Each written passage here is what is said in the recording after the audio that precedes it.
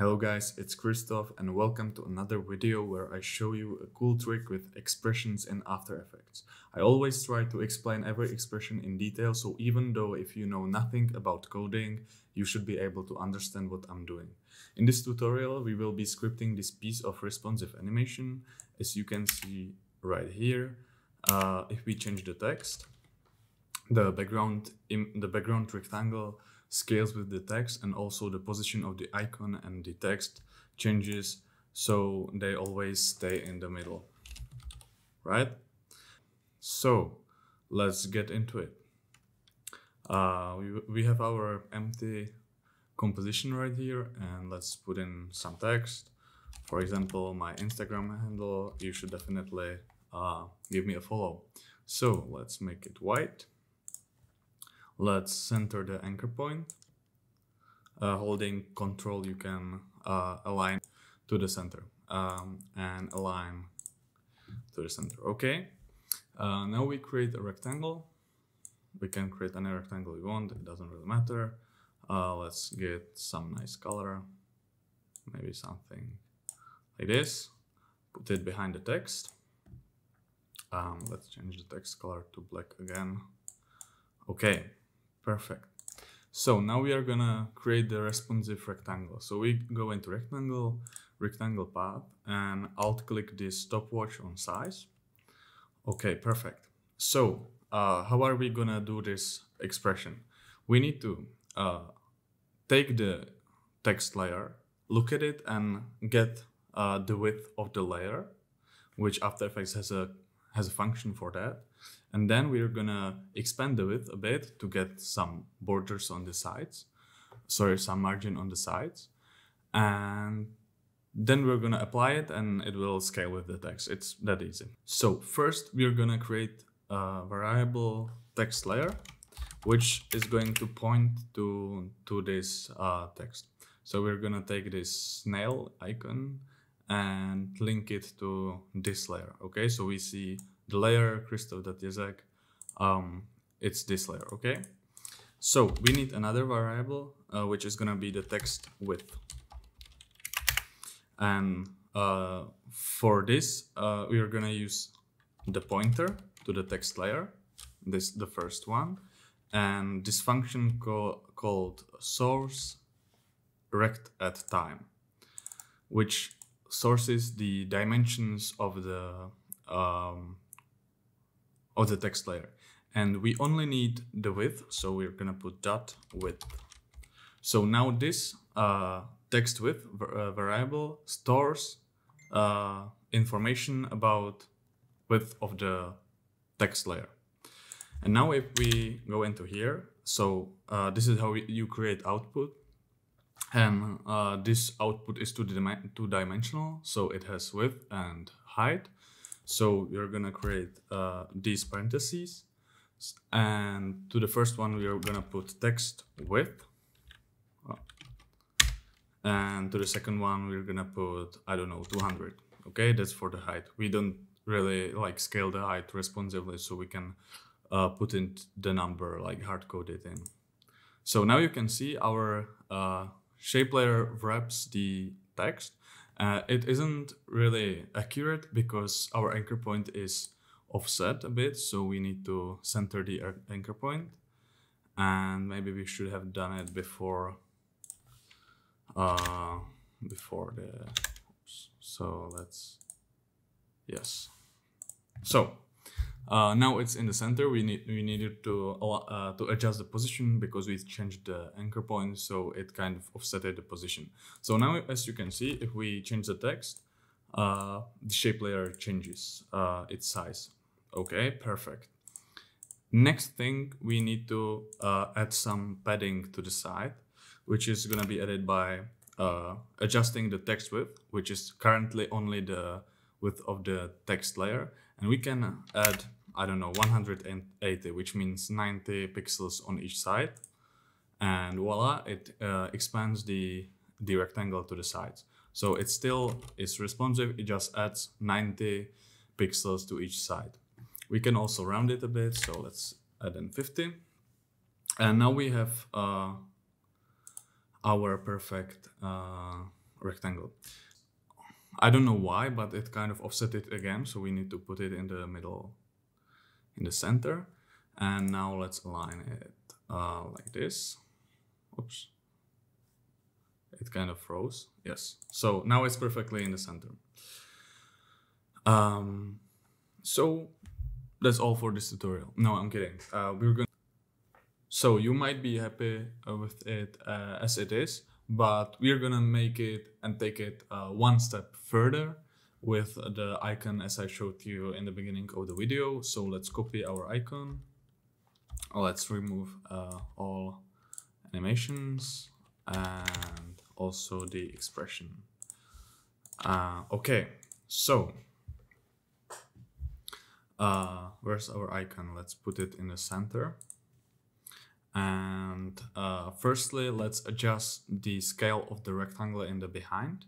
So we're gonna uh, we're gonna create um, uh, another variables for uh, for the logos. So logo layer equals uh, link to the logo layer, pointer to the logo layer, logo width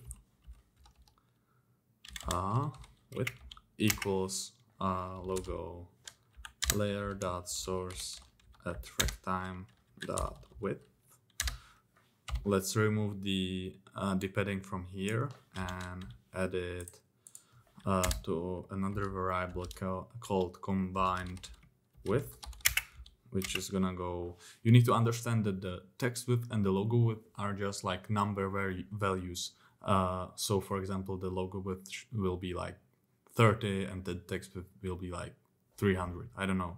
So we can just add them up. So we're gonna go logo layer, sorry, not logo layer, logo width plus text width plus uh, the padding, which is gonna be uh, 180, uh, 90 for each side, and uh, 80 for the gap between the logo and the text, okay? And we need to change this for the combined width. So now we have our rectangle set up. And now let's adjust the position of the of the icon to be also always in front of the in front of the text. So let's alt click position. Uh, we have our expression window here again, and we go into uh, text layer as always, link it to the text layer, uh, text with uh, text layer dot source at rectime dot width. Easy, you should be able to do this by yourself right now. uh, also, if you have a expression error uh, with these uh, with this expression while writing the expression, don't really worry about it. It should be solved one once you finish your expression. So it, it's kind of annoying, but I think it will be fine. Uh, next thing is the logo layer. Uh, uh, no, we don't need logo layer. We just need logo width uh, because uh, we are pointing to this layer. So we are gonna just write this layer dot source rect time dot width. So this layer, uh, this is a it's like an expression which points to the current layer. So if you have a expression written inside this layer, this layer uh, points to logo layer, right? It's kind of uh, like self-explained. Uh, and uh, we need the text position, uh, which we're gonna use our pointer text layer dot position. But as you already uh, know, the position is two-dimensional value. So we only need the first dimension. And how to get the first dimension is to put parentheses. And uh, in JavaScript, the arrays start from zero. So our first position is actually zero. And the second position is one. If we wanted the uh, position, you would go for one, but we want the X position, so it's zero. Okay. And uh, that's all we need. Uh, just now we need to calculate the x position, the final x position, which is going to be text position minus uh, text width divided by 2 minus our gap, which is 80, minus logo width divided by 2 semicolon at the back. And now also we need to add the output which is x position and uh, this comp which takes this composition and we need uh, width. No sorry height. Height of the composition and divided by 2 so this is for the y uh, y position. We take the width of the composition and we divide it by 2 which gives us the center. So now it's always in the center and it's 80 pixels in front of the of the text layer. Perfect. Easy. Uh, also to explain this part it's we take the text position. Uh, we the text position is here. This is like uh, the position we get we need to uh, take the text width and uh, and subtract it. So we we go into here then we subtract the 80 so we get here and then we subtract the logo width uh, divided by 2 so we go into the center right here. So this is kind of how how it works. Easy. Uh, next we need to adjust the position of the of the text. So it's always in the center even though it has like this uh, this logo connected to it which is kind of difficult but uh, I think uh, you will be able to understand how I did it so now we uh, don't need text layer, we only need text width. And we are gonna again use the text this layer dot uh, source rect at time uh. So as, as you probably know, here the this layer uh, points to this layer, so it's to the text layer, right? So we don't need to, to create another variable for the text layer. And then the logo we also I'm, I'm gonna show you you don't need to really create the uh, the like half step variable you can just uh, call the functions directly on the on the on the pointer so we point to the logo layer and we need we don't need to you know like uh, take this into single variable and then create variable for the width we can just source rect at time call this function onto this uh, expression and then select width. So we have the text width, the logo width, uh, and now we need uh, to calculate the x position, which is this comp. Again, we are referring to the composition and taking the width for this time and dividing it by two. So uh, by taking the composition and width, we get the center because we divide it by 2 so it gives us the center. So as you can see now it stays the same. Yes we need to sorry we need to take the output. So expose uh, and this comp height divided by 2 so now it stays at the same place because it's in the center uh, now we need to uh, add the gap but we only need to add the like half of the gap, so 40. Uh, we also need to add a half of the logo, so logo width divided by 2.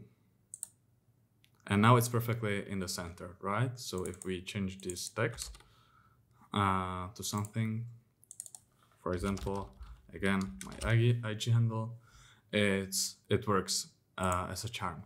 So uh, if you want to change the the gap, uh, you really need to like change three values, which might be uh, a little too complicated or you might forgot about something. So let's uh, create a workaround. You search for this slider control, you put it onto a null, and now you create another variable, which is going to be a slider gap, and it equals uh, the slider control value, not the not the effect, but the value. And here, instead of 80, we're gonna put in slider gap. Let's copy this and also put it here. Also remember we need to divide it by two. And also here. Yes, just like that. And now we're even more responsive because we can because we can change this value and it automatically scales and changes the gap in all of these three layers. So it's even simpler to use this effect uh, with parameters. You can put more parameters. For example, you might want to, I don't know, change the uh, change the padding. So you can also rename it. So we'll say padding. Sorry. And we'll padding equals um, this padding slider and here it's gonna be instead of 180 it's gonna be padding times 2 so uh oops something sorry.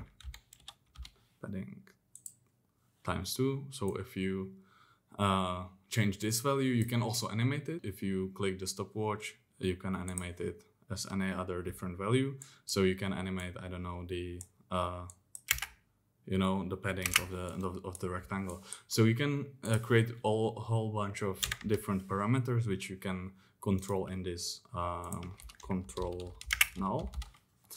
And you can make like really responsive and programmed uh, expression. I hope you understood a bit of uh, coding and you learned how to code your own expressions and make responsive parametric animations in after effects uh, if you if you did, please consider subscribing because I'm gonna release more of these videos. And uh, please like this video if you enjoyed it, and see you in the next one. Bye, guys.